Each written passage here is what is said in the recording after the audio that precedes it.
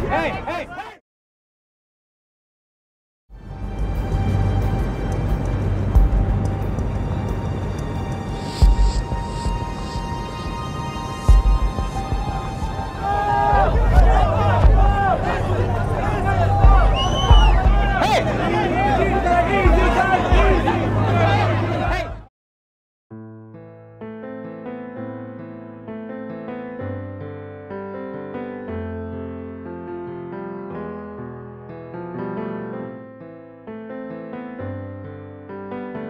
Abidjan, capitale économique de la Côte d'Ivoire, nord-ouest de la mégapole ouest africaine, la commune de Yopougon, la plus grande du pays. L'un des points d'entrée, le carrefour Sable. S'y est établi depuis septembre 2022 Fatoumata. Son gagne-pain, la vente de bananes braisées.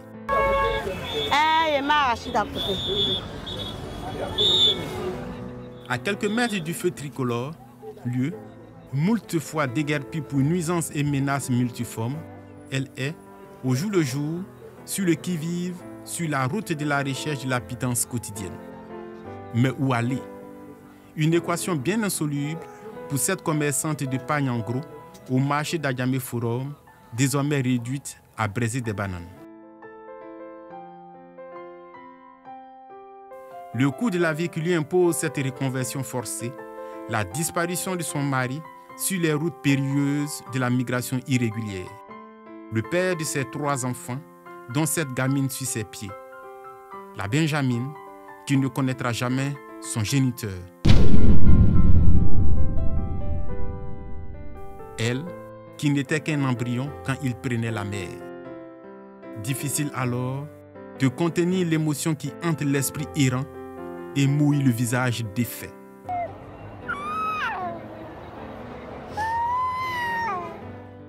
Depuis lors, le quotidien est bien difficile pour la jeune trentenaire désabusée, désormais chef de famille sans fonds de commerce. Vendre banane.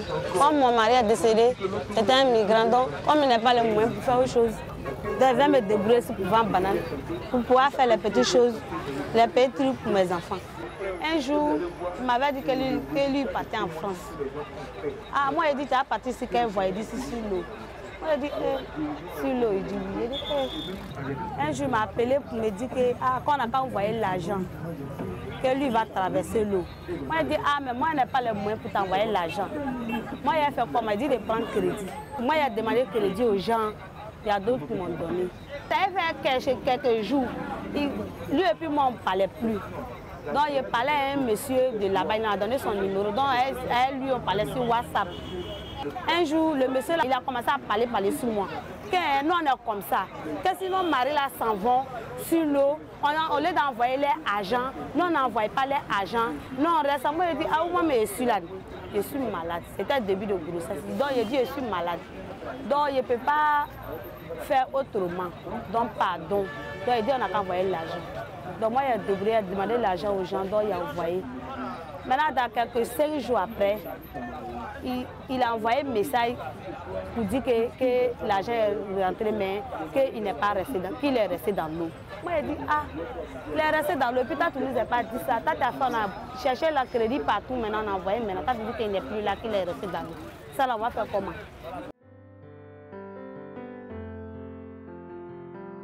À Bobo Belleville, une autre fratrie de migrants disparus en mer. Cette septuagénaire et ses deux petits-fils, désormais orphelins de père et de mère. En l'absence du fils aîné, la vie a cessé d'être rose, aussi bien pour les enfants que pour la grand-mère qui assure désormais le rôle de père et de mère. Difficile là également de contenir la douleur. Il est parti avec ma maman, je les ai plus vus. C'est dur pour moi. Nous n'avons rien. Vous voyez ici, nous avons besoin d'aide.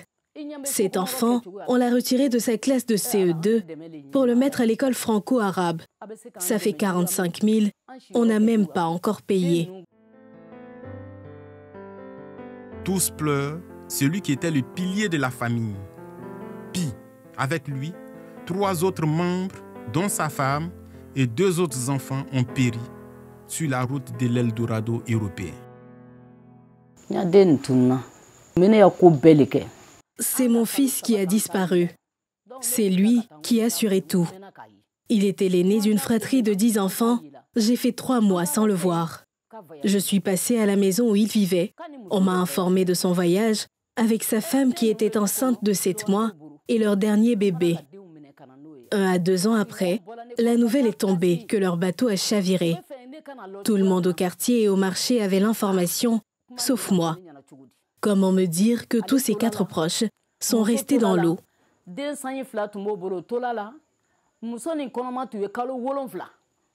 Cette infortune de la perte d'un proche en Méditerranée, cette ex-migrante l'a vécu en plein projet migratoire en Libye. J'ai pris de jusqu'à arriver à Niamey. Niamey, j'ai fait trois jours en route. J'ai pris l'avion à Niamey pour aller en, Libye. De retour au Bercail, c'est ici à Benjaville-Faya qu'elle tente de se refaire le moral et résister à la déprime de la périlleuse aventure encore dans les esprits. J'avais un coin banal dans la prison où les femmes enceintes accouchaient. Moi, je partais beaucoup aider. Et il y a un monsieur qui m'a vu en train d'aider. Il m'a dit euh, il pourrait m'aider à me faire sortir. Mais il faut que je paye. Et ils ont jugé mon prix comme mouton, un million. Je lui ai dit franchement, je n'ai pas un million. Et le monsieur, ils ont négocié, négocié. Mon prix était resté à 600 000. On a oublié de payer les 600 000. Soit, sinon, j'allais me retrouver dans des coins de connexion en train de me vendre. Et c'est là que mon coxeur a pris l'initiative d'appeler les parents ici pour dire que j'étais en prison, qu'il fallait vraiment qu'ils payent l'argent, que j'étais vraiment en danger. Les pauvres parents encore, étaient obligés de s'endetter encore pour payer de l'argent pour me faire sortir. On a fait deux jours, trois jours à la maison. Ils sont venus nous kidnapper encore. Ils viennent de la prison, j'arrive à la maison, on vient nous kidnapper. Mais à la maison, j'étais surpris de voir ma petite soeur. Je viens trouver, mais Amita, tu viens faire quoi là? Elle dit, mais tout le monde est venu à l'aventure. Donc elle, elle est venue, qu'elle-même n'a pas informé qu'elle est venue à l'aventure. Et c'est là qu'on fuyait, on fuyait, on fuyait, on fuyait. On nous a kidnappés ensemble avec d'autres sœurs ivoiriennes. On était dix personnes à être kidnappées, huit filles, deux garçons. Les autres, les autres garçons arrivaient à s'échapper. On devrait payer euh, 200 300 000 pour sortir. Et mon coxeur était obligé de, payer encore. Il a dit si je sors, j'allais venir faire le ménage et puis j'allais payer son argent. Et c'est là qu'il a fait la paix pour moi et puis mes soeurs. Nous nous sommes sortis. Les abrata, nous sommes partis à Tripoli. Et c'est là qu'on a patienté jusqu'à ce que moi, je puisse aller travailler. J'ai travaillé pour un moment pour pouvoir payer mes petits besoins des femmes, puis aussi rembourser l'argent. On a patienté jusqu'à quelques mois et un jour, ils sont venus nous dire que le voyage peut reprendre, que le temps est bon. Une heure, deux heures, ma petite soeur m'appelle pour dire que nous, on va décoller. Ma petite m'a dit, si on arrive, elle va m'attendre en Italie. Et arrivé en Italie, on allait, on allait aller où on voulait. Elle dit, ok, il n'y a pas de problème. En réalité, j'étais contente de passer ma petite voyage, mais je n'étais pas contente parce que moi, je viens, il reste encore dans ce pays-là. Le lendemain, elle ne m'a pas appelé. Deux jours, trois jours, elle ne m'a pas appelé. Pour moi, elle était rentrée. Et c'est comme ça que je suis restée jusqu'à là. C'est une dame camerounaise qui m'a appelé pour dire, ah, tu es ici, ta petite soeur est dans l'eau.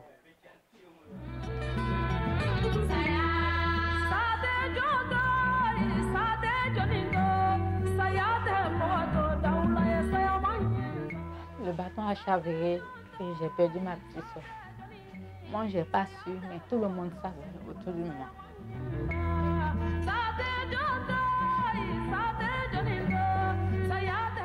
C'est comme ça que nous sommes restés.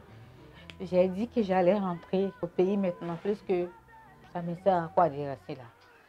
Son infructueuse aventure migratoire fait suite à l'échec de son projet agricole à Boaké, capitale du centre ivoirien et deuxième grande ville du pays. En 2008-2009, elle frappe à plusieurs portes. Aucune ne s'ouvre.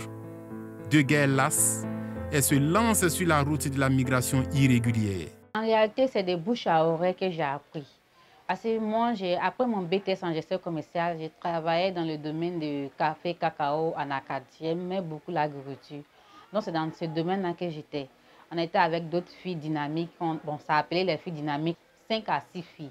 On était en brousse, on faisait sortir les cacao. Si c'était tout case, on faisait sortir tout dans la case. Et on est resté à boire comme ça. On était mal payés, on était toujours en brousse. Et c'est comme ça, il y a une qui a dit, mais on n'a qu'à demander financement, peut-être nos patrons vont nous donner un peu, puis on va commencer à acheter pour nous. Comme on ne nous paye pas bien, en tant que femme, on est tout en brousse, au moins on en brousse, on gagne un peu. Et c'est comme ça qu'on a vu nos grands frères, nos patrons, pour demander si quelqu'un pouvait nous octroyer un peu d'argent. On allait travailler pour rembourser, mais on n'a pas eu. On ne s'est pas découragé. On allait, en ce temps, il y avait des micro-crêpes, des advance. On s'est rapproché de ces, microfinances-là, croyant qu'on pouvait avoir. Malheureusement, on ne nous a pas octroyé des crédits et on a décidé d'aller à l'aventure. Étant donné que moi, je suis une fille, je suis née à Dalois, et c'est comme ça que je suis rentrée en contact avec les amis de Dalois qui connaissaient le réseau qui existe à Dalois. Et des, bouches à oreille, moi j'ai appelé, téléphone, c'est par téléphone qu'on a coordonné. Il m'a donné le numéro WhatsApp d'un Ivoirien qui, bon, actuellement qui réside en Libye. Et c'est avec lui que j'ai échangé. Il m'a donné le contact de celui qui devait trouver au Niger, à Niamey. Et de Niamey, j'ai pris l'avion et les autres pour partir. On a décidé de partir, on était cinq filles. Il y a trois qui ont pris la route du désert et nous, on était deux à prendre l'avion pour aller. Quand nous sommes arrivés en Libye, on a fait une, fête kidnappée pour la première fois à l'aéroport. Mais il y a un monsieur qui nous a sauvés, il a envoyé ma photo une photo de l'autre. Et c'est comme ça qu'on nous a récupérés. Quand il s'est arrivé maintenant chez le coxer en question, j'ai vu que c'était un Ivoirien, effectivement. Il y avait plusieurs Ivoiriens qui vivaient avec lui. Et il nous a dit que euh, si on paye le reste d'argent, ça va pas tarder qu'on va aller, euh, on va aller Boza. Boza, c'est le thème qu'on emploie. Ça veut dire qu'on va aller en Lampedusa. On allait arriver en Italie.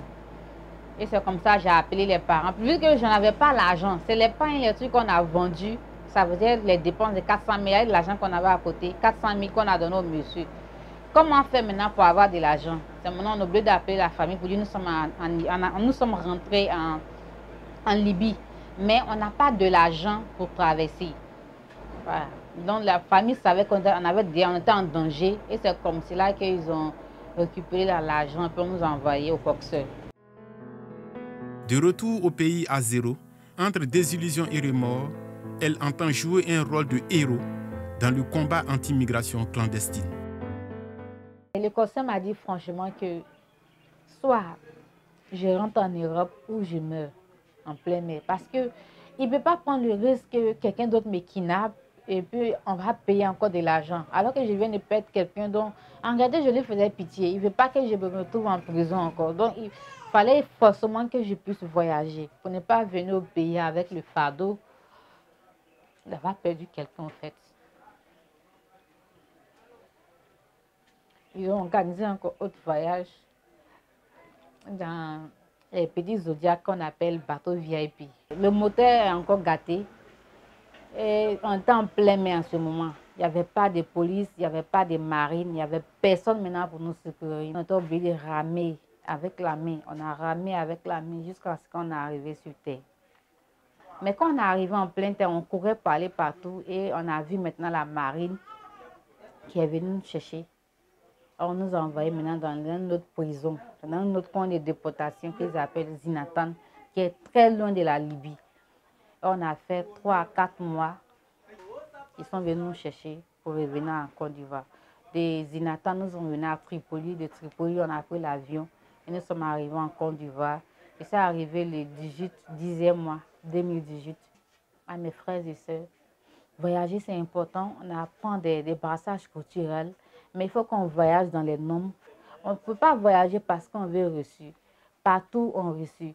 Nous, nous sommes partis parce qu'on n'avait pas la bonne information. On n'avait pas aussi des migrants, des retours réels, comme moi je le fais aujourd'hui, comme mes autres amis le font, qu'ils avaient vécu les difficultés pour nous rencontrer les histoires. Nous, à notre temps, on n'avait pas ces personnes-là.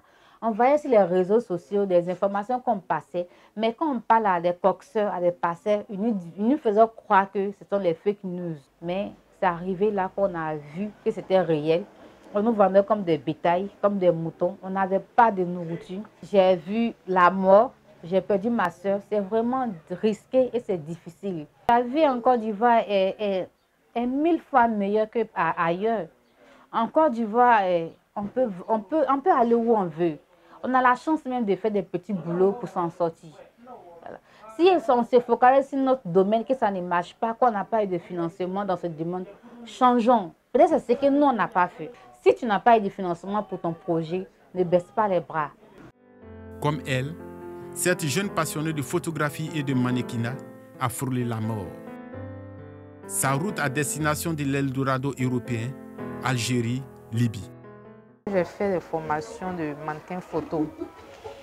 Et avec les, agences, franchement, ça n'a pas été facile. C'est comme ça, j'avais une amie en France qui a son agence, qui m'a contacté pour me demander est-ce que ça sera bon si je viens vers elle pour qu'on travaille ensemble? Parce qu'elle est installée là-bas nouvellement. J'ai décidé de partir en Libye.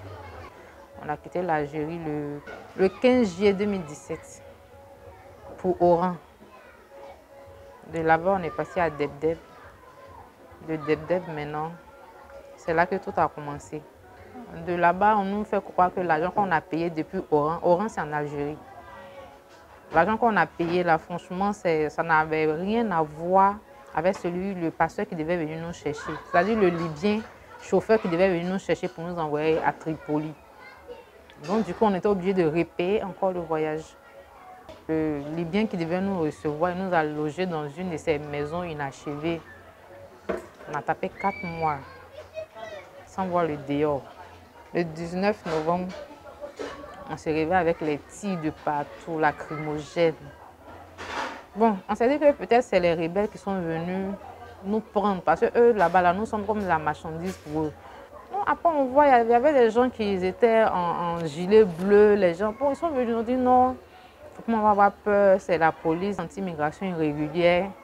Ils vont nous envoyer dans les cellules pour nous déporter, chacun va rentrer chez lui. C'était l'enfer là-bas. Et ma seule prière, j'ai demandé à Dieu, Seigneur, moi je veux rentrer. Tout l'argent que j'ai gaspillé là, c'est pas grave. Moi je veux rentrer. On nous a envoyés dans, dans un commissariat. Une petite salle. J'en étais 1500 personnes. Coincées. Moi j'étais juste devant les toilettes là. Les gens ont besoin. Où je suis couché là, l'eau coule. En plein hiver. C'est là que le lendemain, je me dis, ah, franchement, c'est maintenant que je sens que je suis en Libye. Elle aussi entend se mettre au service de la sensibilisation sur la migration irrégulière. Mieux, interpeller l'opinion sur le difficile quotidien des proches de migrants disparus en mer. Le 14 décembre 2017, ils sont venus faire un contrôle. Il y a des gens qui sont fait enregistrer au préalable qui, où le vol était déjà chargé, eux n'ont pas pu, donc ils sont venus les prendre. C'est comme ça le monsieur est venu, un Libyen mais qui parlait français. Donc il a crié Diamant Côte d'Ivoire sans chaussures. J'ai couru jusqu'à je suis sorti de la cellule, j'ai dépassé le monsieur, je suis revenu. Il m'a demandé mon nom. Il a dit mon nom. Il dit Ah, ton nom n'est pas sur la liste. Le monsieur a arrêté à côté de lui. Il a appelé, appelé, appelé. Les filles se sont cachées dans les cellules, elles ne voulaient pas venir. C'est comme ça que je suis venue. On est arrivé à Abidjan ici le 15 décembre à 2 h du matin. Quand je suis arrivée, j'avais un sentiment comme si comme si j'avais causé du tort à ma maman. Parce que je me suis dit que c'est parce que ça ne va pas ici. Je n'arrive pas à m'exprimer dans le domaine dans lequel je voulais, que j'ai voulu partir. Mais toutes ces années que je suis allée gaspiller, en plus de la douleur que je suis venue lui donner, je dis merci à Dieu parce que il a permis que je voie ça pour que je vienne témoigner. La petite opportunité que tu gagnes ici, là, tu peux la transformer en quelque chose de bon. Là-bas où on s'en va même, il n'y a rien là-bas. Mieux. On dit, mieux. Actuellement, il ne me, sent pas bien, mais ça ne se sent pas. Parce que je me lève, je vais à l'hôpital, ce que j'ai envie de manger, je mange. Mais je m'imagine quatre ans en arrière dans les cellules de la prison. Même pour boire de l'eau, c'est de l'eau de toilette. Yopougon base de ce test migrant. De retour au pays, reconverti en tenancier de débit de boissons. La destination de son projet migratoire, la France via l'Italie un pays où il ne mettra jamais les pieds. En transit en Tunisie, il y boit le calice du supplice jusqu'à Lali. De Tunis à la ville frontalière, c'est toute une nuit de, voyage. C'est-à-dire qu'on quitte 19h et puis on arrive à 6h du matin. Quand nous sommes arrivés là, les organisateurs du réseau, ça dit que les passeurs, ils nous ont cachés dans une maison, ils ont enfermés. Parce qu'on ne devait pas nous voir. Donc ils nous ont enfermés. On y est resté, je crois, trois jours. Et puis euh, ils sont venus nous chercher une nuit dans une fourgonnette. On était près de 25, 25 dans une fourgonnette. Voilà et ils nous ont amenés la nuit. Quand on, est arrivé au beau milieu du, désert, ils nous, ont, ils nous ont descendus et on devrait continuer le reste de la route maintenant à pied. voilà. Il y a une haute tension qui dit la Tunisie et la Libye. Donc c'est la haute tension qui sert de, chemin, c'est ce qu'on suit jusqu'en Libye. À pied, dans le désert, en affrontant les, les reptiles et essayer aussi d'éviter les, les corps habillés tunisiens et libyens, parce que chacun garde sa frontière. Donc quand tu dépasses la frontière tunisienne, il faut aller encore, il faut affronter la, frontière euh, libyenne. Là-bas, c'est un gros trou. C'est une frontière naturelle. Ils ont creusé un gros trou. Voilà. Très grand. Donc quand vous arrivez là, vous, vous sautez là-dedans. Et puis ceux qui sont un peu plus grands, ils sortent. Et ils se couchent, ils tendent leurs mains. Et puis, le plus court, vous ressortez. Mais nous, on a eu le malheur parce que le tour nous a surpris. Sur la route, il a vu périr plusieurs candidats aux portes de la forteresse européenne. On a laissé un, Camerounais dans le tour ce jour-là.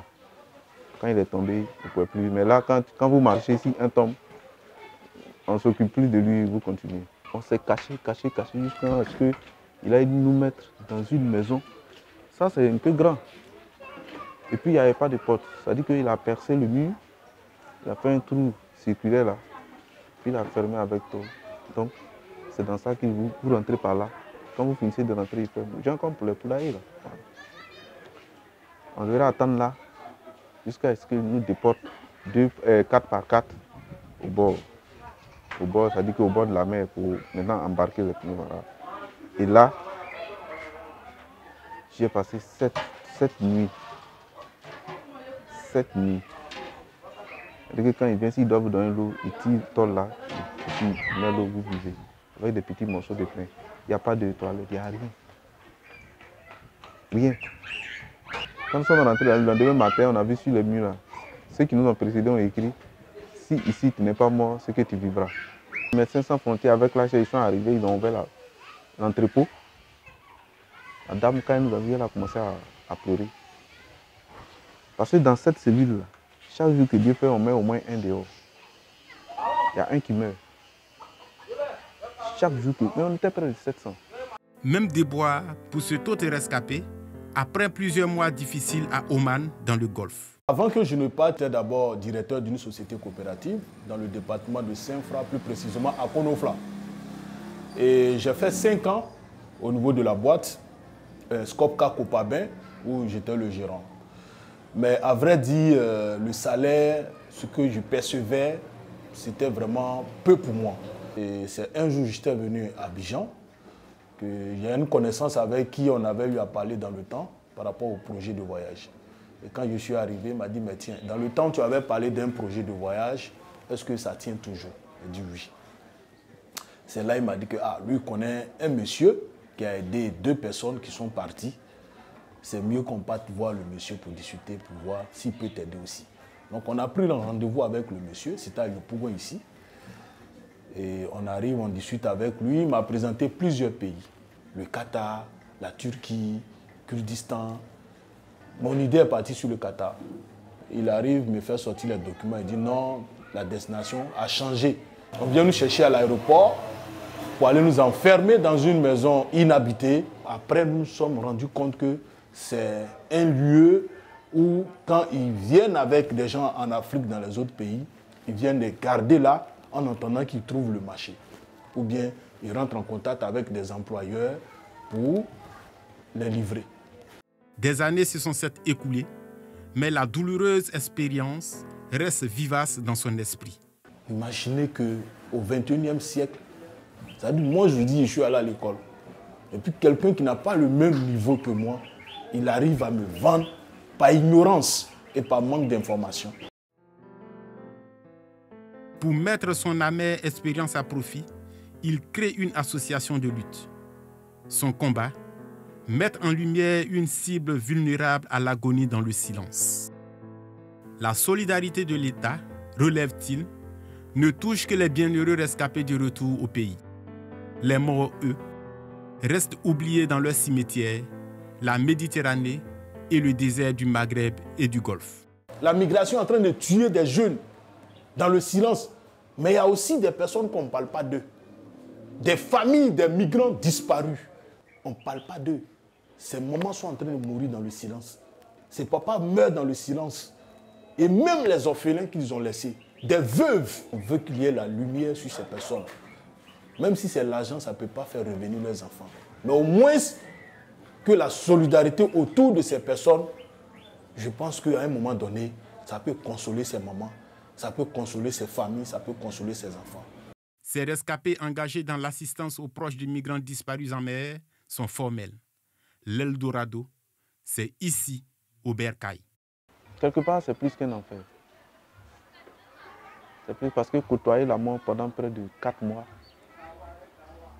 c'est plus qu'un enfer. Les gens viennent, ils vous frappent quand ils veulent. Sans raison. Ils vous tabassent, sans raison. Ils envoient la nourriture. Quand vous n'êtes pas ordonné ou bien si vous avez crié, il n'est pas content, il retourne avec la nourriture.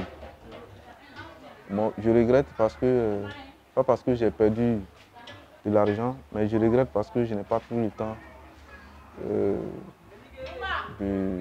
d'avoir toutes les informations avant de m'engager. Euh, je me suis dit, j'étais avec des gens, ils sont passés chez moi, des gens que j'ai hébergés, ils sont arrivés en, Europe. Donc, moi aussi, je suis un être humain, moi aussi, je peux y arriver. On entend souvent chacun a sa chance, chacun a sa chance, c'est vrai. Mais il ne faut pas mettre Dieu à l'épreuve. Nous, on n'a pas eu la chance, certainement. Mais en plus de ce qu'on n'a pas eu la chance, on a souffert on a souffert. Non seulement j'ai perdu tout mon temps, j'ai failli perdre ma vie. Ce chemin-là, ce n'est pas un chemin emprunté. Parce que même quand Dieu te donne la chance de traverser, quand tu arrives là-bas encore, c'est des difficultés. Nous, quand on est revenu, on s'est mis en association, on a commencé à faire la sensibilisation, on a eu des contacts, on sait un peu plus ce qui se passe en Europe. Voilà. En Côte d'Ivoire, ici, on peut s'en sortir si on le veut. Moi, je suis revenu. Au début, c'était difficile. Mais aujourd'hui, là, je suis indépendant. Je suis moi. D'ailleurs, je suis revenu, je me suis marié, donc j'ai mes enfants. J'ai ma petite entreprise. Doucement, doucement, il faut croire en soi. Il faut croire qu'en Côte d'Ivoire, on peut réussir. Regardez, chaque jour, les gens rentrent en Côte d'Ivoire. Chaque jour que Dieu fait, il y a des gens qui rentrent en Côte d'Ivoire. Pendant que nous autres, on cherche à sortir. C'est un peu paradoxal. Ça veut dire que la Côte d'Ivoire regorge de beaucoup d'opportunités. Quand on croit en nous-mêmes, quand on en parle, les gens pensent que on ne peut pas demander à quelqu'un de vivre ça. Aujourd'hui, nous, on a la chance de raconter notre histoire parce qu'on vit, ceux qui n'ont pas survécu. Ils sont morts cadeaux. Ils n'ont plus l'argent pour payer la mort. On a payé la prison, on a payé la mort. À quoi bon? Rester au pays, c'est mieux. Rester pour vivre est mieux que partir pour mourir. Ces proches de migrants disparus en mer, désormais dans la solitude et les dénuements, auraient souhaité les voir dans cette cause. Le sort en a décidé autrement. Le cœur en lambeaux, tous tournent le regard vers les autorités compétentes et les entreprises citoyennes appelées à leur voler au secours pour améliorer un quotidien bien difficile.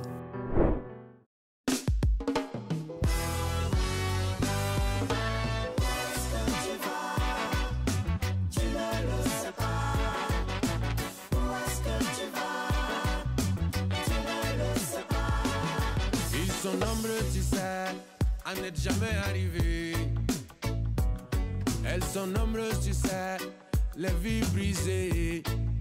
à poursuivre un mirage. Nombreux se sont perdus en route à croire à un miracle. Nombreux ont connu la déroute.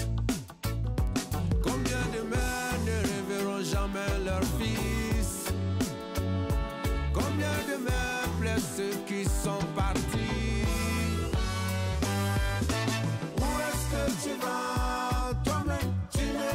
pas